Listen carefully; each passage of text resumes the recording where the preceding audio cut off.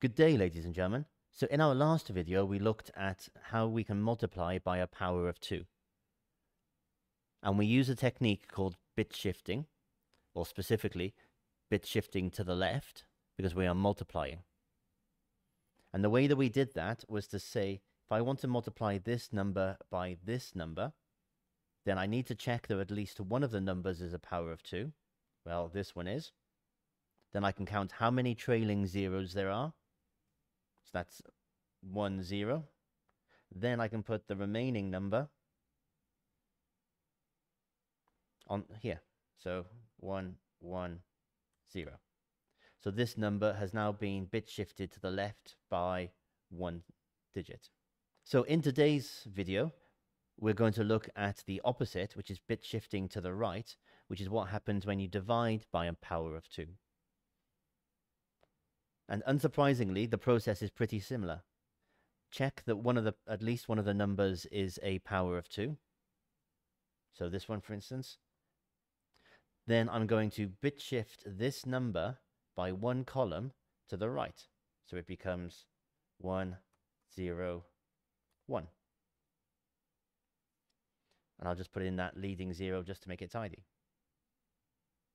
So what I'd like you to do is to pause the video and give this question a go. Divide this number by this number.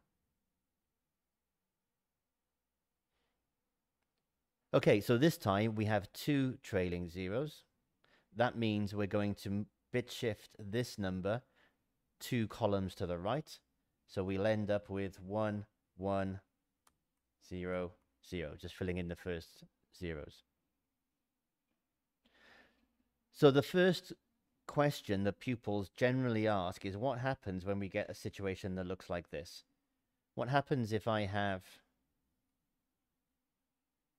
oh, let's imagine I have this binary number here and now I want to divide by that binary number.